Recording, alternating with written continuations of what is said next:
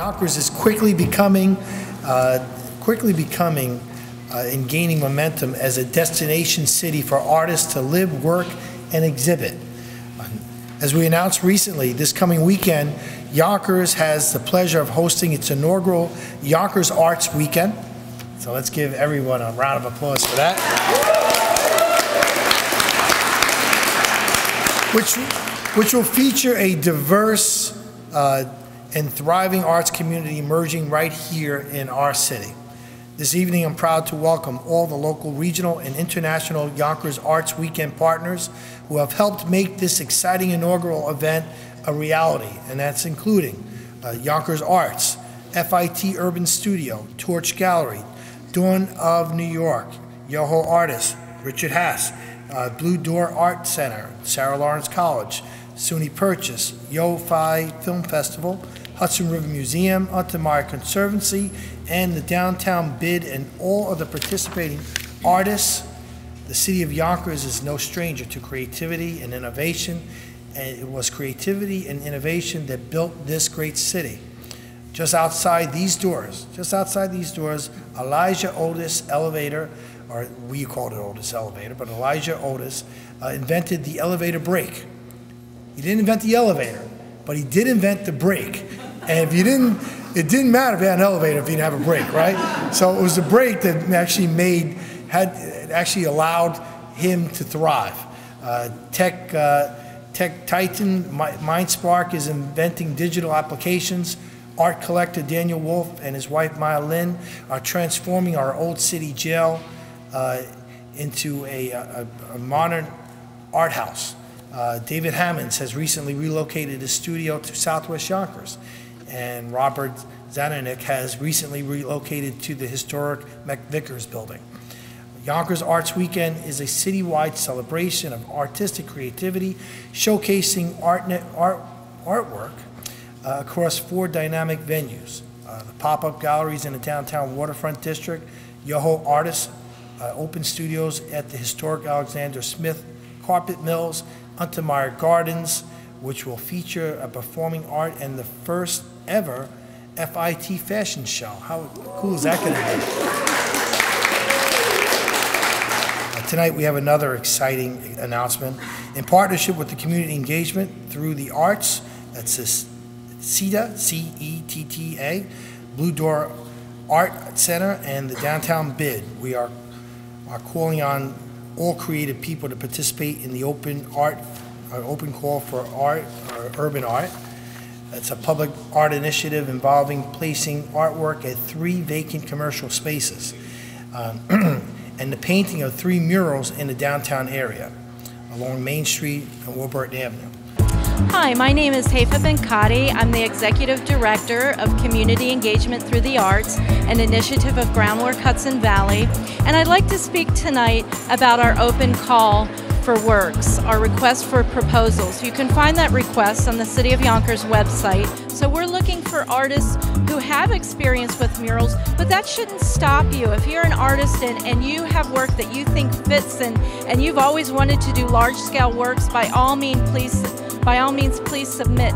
We're looking forward to hearing from artists both local and throughout New York State. Uh, from the Blue Door from the Blue Door Art Gallery, uh, Louis Perlman.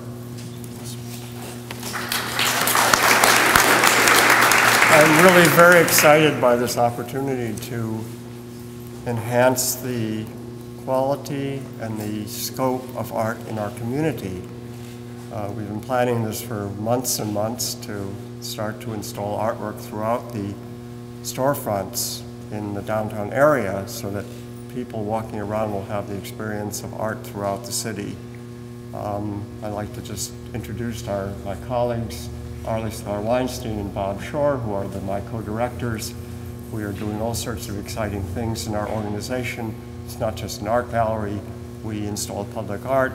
We have all sorts of performances in our gallery, including our first Latino uh, open mic.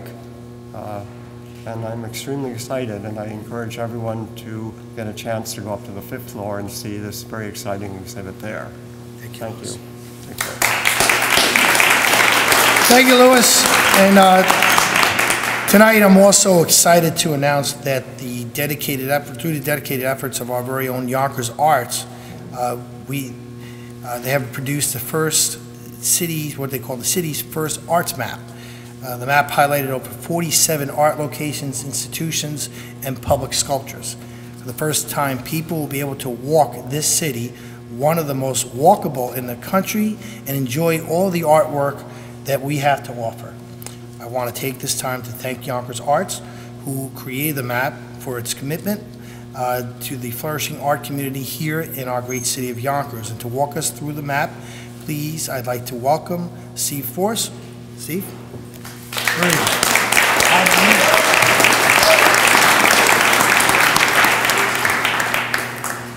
Thanks, Mayor Spano. There's art everywhere in Yonkers. There are performances every day in Yonkers. There are magnificent buildings throughout Yonkers. And there are artists working and thriving in Yonkers. And thanks to your initiatives, Mayor Spano, the number of thriving artists is growing daily. Yonkers Arts wanted a way to call attention to this vibrant art scene. The public art, the venues, the architecturally significant buildings, and create a guide for locating these, these places. The final result is the Art Spots map that we are asking you to unveil for us tonight.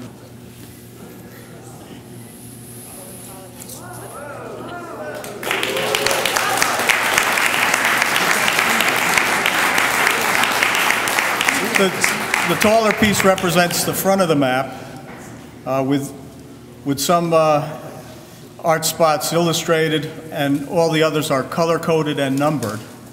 And then this portion would be the back of the map, which has photographs and descriptive information of over 70 different art spots. So copies of the map are available today, and we'll be distributing through them throughout the weekend. And hope you enjoy them. Hope you can use this, and uh, we thank you for this opportunity to do this for our beautiful city. So before we conclude this evening, I want to point out that tonight we are surrounded by over 20,000 square feet and two floors of spectacular artistic expression from 72 FIT Urban Studio faculty members, students, and Torch Gallery artists. Uh, over nine days and over 12,000 hours later, the partnership between the city, FIT Urban Studio, and Torch Gallery produced this game-changing pop-up gallery on a scale that downtown Yonkers has not yet experienced. So from, from Miami's famed art to the downtown waterfront district, we are excited to have the professionals at FIT Urban Studio as a partner in this exhibit. FIT Urban Studio is a fine arts organization developed in 2003 by FIT faculty to bridge the gap between FIT students and real-world experience. I'm Stephanie DeManuel, Chair of the Fine Arts Department, in which Urban Studio is housed. And we are really grateful um, for the presence and support tonight of the Dean of Art and Design, uh, Joanne Arbuckle at FIT, and the Assistant Dean, Sass Brown. Um, obviously, this is a collaborative effort, um, but Melissa Stark, our department coordinator, who is the club advisor, is the one who will not say no to, to a project like this, which uh, she can envision, she can pull her people together, students, faculty, alumni. They trust that it's a good thing, uh, that she recommends it, and, and we're just incredibly grateful for the introduction that we've had to the city of Yonkers. It's really a beautiful town. It has beautiful light, I think. And, you know, all the amazing people who have helped us along the way. Um, our liaison is Chris St. Lawrence, who we've had most exposure to. Um, and he's also um, a, a real candid person as well. So there's so many people to thank, so many hands that made this happen. Um, and we're just really, really grateful for the opportunity and to share this with you. So here's Melissa Stark, our department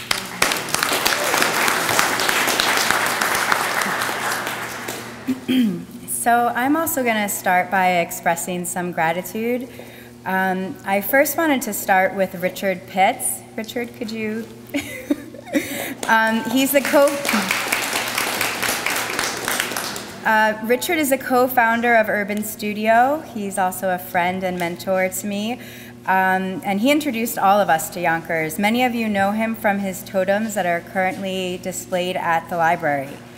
Uh, next, I'd like to thank the City of Yonkers for inviting us here. We're happy to be a part of Yonkers Art Weekend and the city's general initiative to support the arts. Of course, Joe Cotter for lending us this space and the freedom to work in it and renovate it as needed for the transformation that you see today. Next, I just wanted to say a few words about the project. Uh, participating in Yonkers Art Weekend gave me a chance to set a great example to the students how to take a situation, work together, and seize an opportunity. In the upcoming weeks, um, sorry, uh, in the upcoming weeks, they'll be engaged uh, within another artistic community, and uh, they'll have the opportunity to meet new people, have new conversations, and form new ideas about themselves as emerging artists. So again, thank everyone. I want to thank everyone and ask that you please join us on the fifth floor for the continuation of the exhibition.